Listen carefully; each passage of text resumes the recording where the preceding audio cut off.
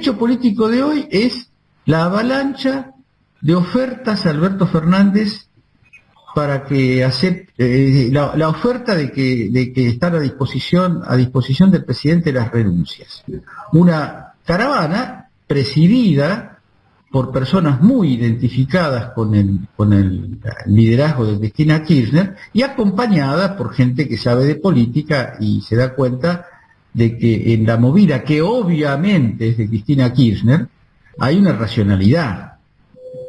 Es decir, este, hay, hay este, ex intendentes peronistas, hay, hay, hay toda una, una línea amplia de funcionarios que dicen la verdad es que Cristina tiene razón, hay que ofrecer la renuncia y hay que facilitar un cambio, porque por este camino vamos a un desastre, que no es el desastre de Alberto, porque acá el problema no es si lo cuidamos Alberto o no, el problema es si nos cuidamos a nosotros, si cuidamos la República, si cuidamos el país, si cuidamos el futuro. Y la verdad es que yo eh, siento, yo, yo tengo como vos, como vos, de otra manera, porque me quedé, me quedé acá, no tuve más remedio que quedarme acá, y estoy siempre amenazado por el síndrome de se pudrió todo, y cada vez que en Argentina se pudre todo, después cuando volvemos cuando volvemos a la realidad estamos mucho más atrás y mucho peor que en el momento que se pudrió todo. Entonces yo,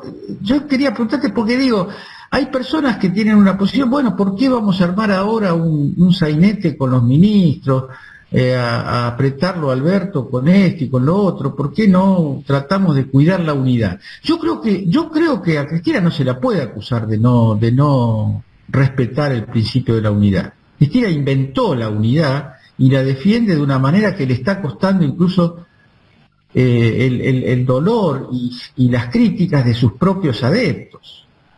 Entonces, pero acá, este, cuando uno dice, ¿cómo fue esto? ¿Cómo fue que ahora, cómo es que ahora, Jorge, eh, todos hay, un coro un coro unánime que dice hay que poner plata en el bolsillo de la gente. Creo que es bastante berreta la forma de decir esto. Sí.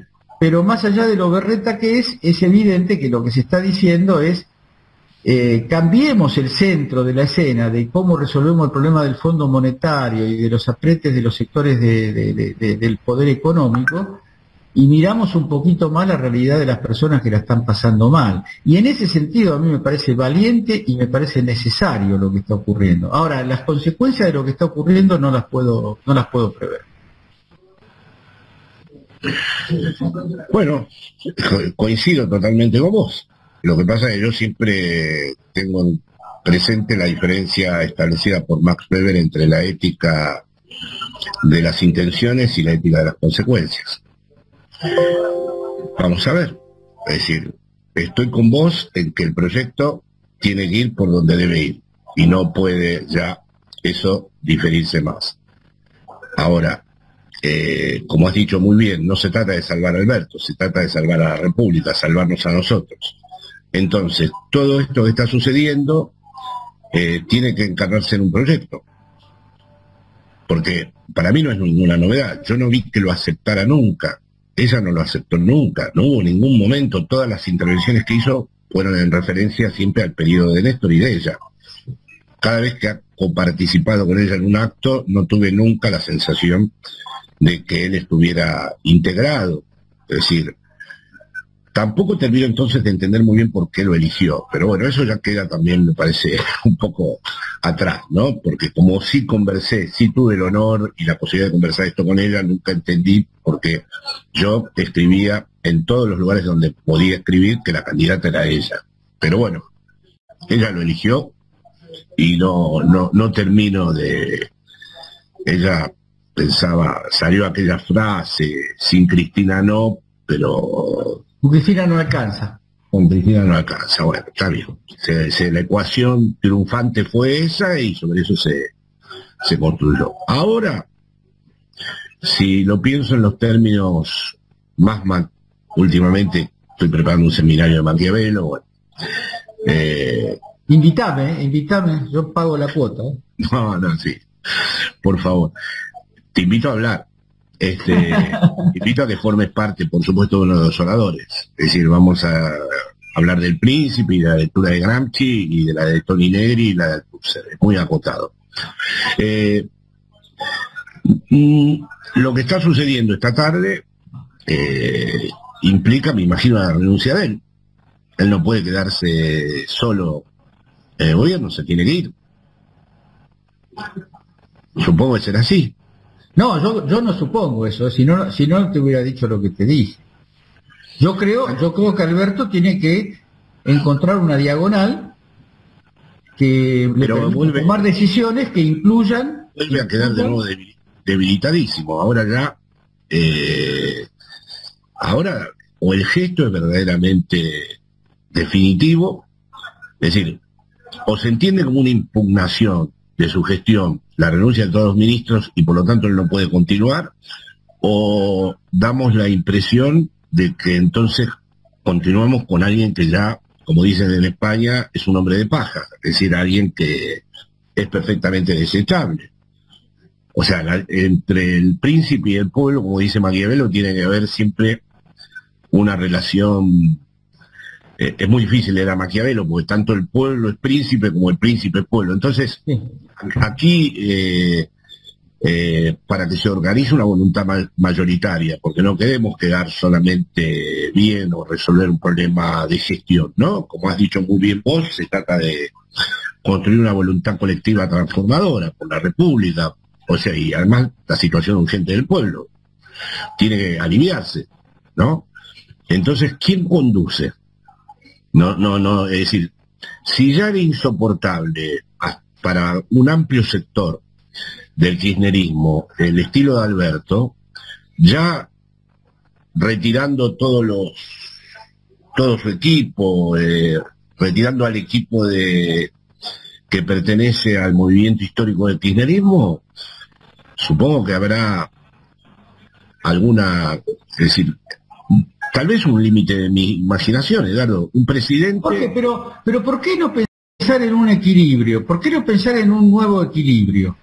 Porque hasta ahora, el, año pasado Cristina dijo, eh, hay funcionarios que no funcionan, lo dijo así como de costado, en, una intervención que fue para mi gusto muy brillante y muy, y muy como las de Bueno, ¿por qué no llegar a un acuerdo, por qué no llegar a un acuerdo, a un nuevo balance de fuerzas? Porque yo creo que acá hay una especie de dialéctica de la burocracia política que cuando se siente encaramada en puestos de privilegio y en el, en el lugar de la sobresaliencia política, deja de ser, deja de hacer política.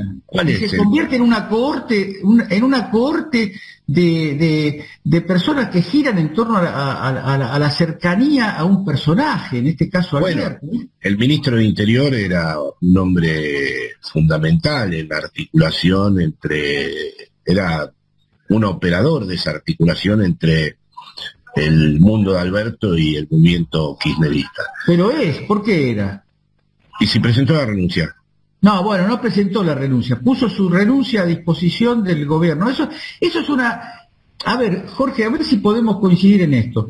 Lo que se dio hoy es un espectáculo político, es una declaración política colectiva del mundo cristinista en el sentido de que el mundo cristinista cree que hay que hacer un cambio de gabinete.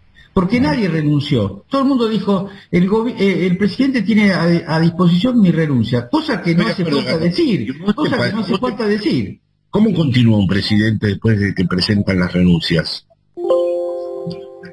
No, y arma un gabinete distinto. Arma un gabinete distinto, un equilibrio distinto. Pues, pero a partir de ahora, ¿cómo, cómo se constituye él en el...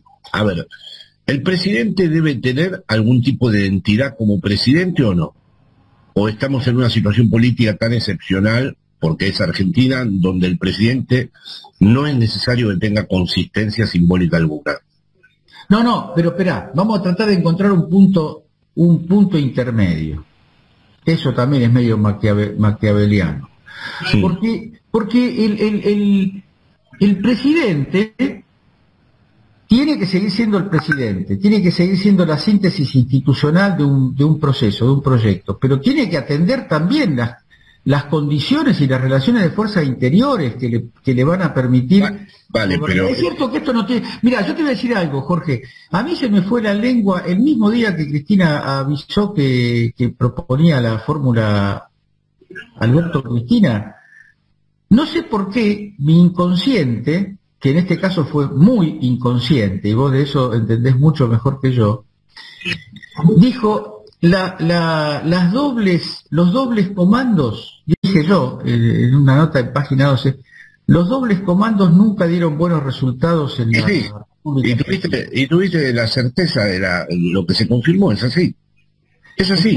Estoy, verdaderamente este, eh, angustiado por esa frase, porque después la tomaron. Vos viste ahora que máquinas de captura, máquinas de captura. Claro, como hicieron conmigo con el... vi en un programa de televisión de esos que no miro nunca, y diciendo, como dijo el politólogo Moca, claro, claro, eso pasa, colgar del, ¿eh? A mí me agarraron con lo del suicidio en todas partes. Eso es así, pero precisamente, siguiendo tu lógica, este doble comando me parece que ha llegado a su final. Es decir, yo no veo que haya capacidad de restaurar ningún lugar de investidura de esa figura, ni de conducción de esa figura. Es decir, supongo que en esta operación de cambio de gabinete el ministro de Economía se va, ¿no? La idea parece ser esa, la idea. Pero, Edgardo, entonces, ¿cómo es? Es decir, tendría que haber un altísimo pacto entre los dos, tendría que haber un acuerdo, como te diría, absoluto para que él diga, bueno, tenés razón, eh, me quedo acá hago el semblante de presidente y vos decidís la conducción de este proyecto poniendo a las personas. Bueno, si es posible esto, es que la Argentina realmente forma parte de la conjunción entre la novela negra y la política. Puede ser. Puede ser, puede ser, puede ser así. A mí me, a mí me, yo te agradezco, Jorge, porque me has mostrado de un modo elocuente el lado oscuro de mi posición política. Pero yo también podría ejercer un nivel de tortura sobre vos. Ejercelo, ejercelo. Este, no, digo, digo, bueno, dejemos que todo siga como está. Si todo sigue como está, si los ministros son los mismos y las políticas... No, no, no puede seguir todo como está. No, ¿Qué te parece que va a pasar en el No, no, no, pero es que, Edgardo, yo acepto que no puede seguir todo como está. Estoy a favor de que se cambie todo. Mi pregunta es, ¿Cómo? Mi pregunta es que verdaderamente, eh, ¿cómo es que se resuelve este, esta manera en donde no podemos perder en una situación como esta la conducción del proyecto? Entonces, ¿cómo es internamente la resolución de esto? Me cuesta creer que se hace todo esto y, lo dejamos al presidente como si no ocurriera nada. No, a mí también, es, muy muy lo que decís. Pero vos, sabés que, vos sabés que es, una conversación trágica esta. Porque yo no puedo demostrar, yo no puedo demostrarte que el movimiento este conduzca a un equilibrio de poder. Y vos tampoco me podés demostrar que, no, no puedo demostrar nada. Yo lo que fuera de la presencia de Cristina, Alberto puede hacer algo. Yo sí coincido con vos en que la transformación se tiene que dar, porque muchos han creído que como yo intentaba defender en la medida de mis posibilidades, la unidad del frente de todos, porque me parecía que era la superficie de inscripción donde la disputa militante se podía dar, no porque estoy de acuerdo con eso. Porque no, no porque yo está, estuviera identificado, lo dije de mil maneras esto, digo, no es que yo coincida, es que es una superficie en donde puede haber una inscripción para distintos movimientos sociales, que de hecho la hay, que de hecho existen, que de hecho es tal vez la gran riqueza de, de la Argentina, ¿no?